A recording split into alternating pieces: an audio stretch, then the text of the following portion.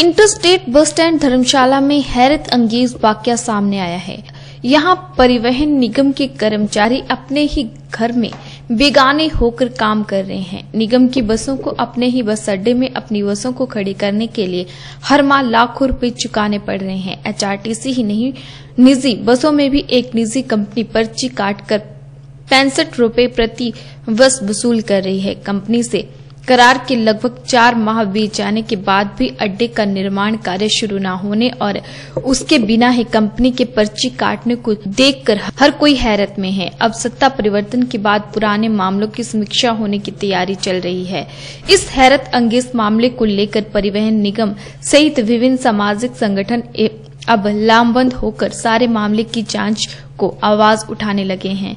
अंतर्राष्ट्रीय बस अड्डा धर्मशाला को बस टर्मिनल बनाने के लिए पिछली कांग्रेस सरकार के समय हुआ करार। अब चर्चा में आ गया है। पूर्व सरकार में रहे परिवहन मंत्री जीएस वाली ने विधानसभा चुनावों से छह माह पूर्व एक निजी कंपनी को बस टर्मिनल बनाने का करार किया था और संबंधित कंपनी को अड्डा सौंप कर पर्ची काटने का अधिकार भी दे दिया था, लेकिन हालात ये हैं कि सितंबर 2017 माह में कंपनी को अड्डा दिए जाने के बाद जनवरी 2018 में भी इस बस अड्डे के अंदर आने वाली गाड़ियों को कोई सुविधा नहीं मिल रही है। स्थान कम होने के कारण उन्हें परेशान ज़रूर होना पड़ता है। बस अड्डा में परिवहन निगम की बसों को अड्डे में आने के हर दिन के लिए करीब दस हज़ार रूपए देने पड़ते हैं और करीब पंद्रह हज़ार रूपए की राशि निजी बसों से भी पर्ची काट वसूली जा रही है। ऐसे में निगम को तीन लाख और निजी बसों को साढ़े चार लाख रूपए प्रति माह कंपनी को देने पड़ रहे हैं। कुल मिलाकर निगम और निजी बसों से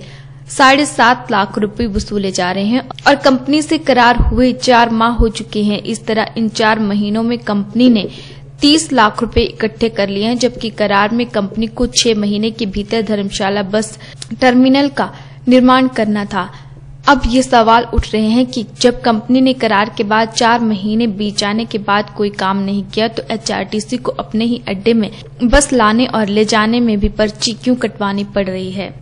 एचआरटीसी ईटक के पूर्व महासचिव एवं धर्मशाला अंतर्राष्ट्रीय बस अड्डा के इंचार्ज प्रदीप बोलोरिया से बात की गई तो उन्होंने कहा कि बस अड्डा की प्रॉपर्टी एचआरटीसी की है, जो उनको बस अड्डे के अंदर आने की फ़ीस किस बात की। उन्होंने कहा कि एचआरटीसी को हर रोज दस हज़ार का चूना लग रहा है। जहाँ तक मुझे ध्यान में है, मुकेश रंजन कॉन्ट्रैक्टर हैं जलंधर के या होशियारपुर के पूरा मुझे इतना जहाँ तक मुझे ध्यान में है ये कॉन्ट्रैक्टर हैं इन्होंने कॉन्ट्रैक्ट लिया हुआ है। और ये आ, इसको बनाना चाह रहे हैं। तो जहाँ तक खबरें आती रहती हैं कि शायद इनको फॉरेस्ट से एनओसी नाम मिली हो इसलिए ये काम नहीं लगा रहे हैं। लेकिन ये मैं मुझे कोई प्रॉपर इसकी जानकारी नहीं है जहाँ तक मुझे पता लगा है। कि इनको फॉरेस्ट से क्लियरेंस ना मिलने की वजह से ये काम नहीं लगा पा रहे हैं और ये काम रुका हुआ है लेकिन एचआरटीसी को ये रोज का हज़ारों रुपए का रेवेन्यू जो है वो नुकसान हो रहा है जबकि ये सारी प्रॉपर्टी निगम की अपनी है। तो सर कितने पैसे लेते हैं ये? पैंसठ रुपए पर, पर पर बस 24 घंटे के एक दिन के और रात को हमने अगर गाड़ी यहाँ खड़ी करनी है रात को अगर हमने यहाँ गाड़ी खड़ी एक सौ पैंतीस। पैंसठ प्लस पचास। पैंसठ प्लस प्लस पचास एक सौ पंद्रह।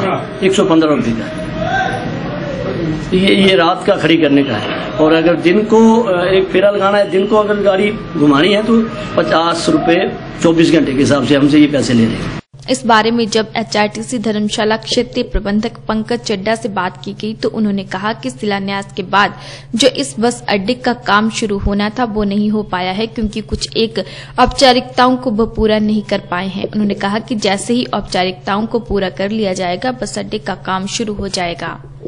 क्या है जो बस स्टैंड धर्मशाला है। जब से हमने पिछले आ, आ, साल ही दो में ही जो है बीओटी के तहत बस स्टैंड को हमारे कॉन्ट्रैक्टर को दिया था और उसके बाद जो कुछ फेलिंग ऑफ़ ट्रीज की जो परमिशन है वो अभी तक नहीं आई है जिसके कारण जो अभी तक उन्होंने काम शुरू नहीं किया है। और जहाँ तक इसकी अवधि का सवाल है तो ये कॉन्ट्रैक्ट में लिखा हुआ है कि जिस दिन से हमने उन्हें हैंड ओवर किया था उसी दिन से उनकी अवधि स्टार्ट होगी है और जितना पीरियड उनको दिया गया उसी दिन के बाद वो खत्म हो जाएगा। सर तो जो चूना लग रहा है सरकार को एच को तो नहीं वो अवधि वही रहेगी। वो उन्हें जो कॉन्ट्रैक्टर को टाइम पीरियड दिया गया उसके तहत ही उन्हें कॉन्ट्रैक्टर को अपना पीरियड पूरा करना पड़ेगा कंप्लीट करना पड़ेगा। जो फॉर्मेलिटीज है, वो जल्दी से जल्दी पूरा होने के बाद वो जो उन्हें उन्हें बताया गया कॉन्ट्रेक्टर को एग्रीमेंट भी साइंड है कि इतने पीरियड के अंदर अंदर आपने बस अड्डा पूरा करना है।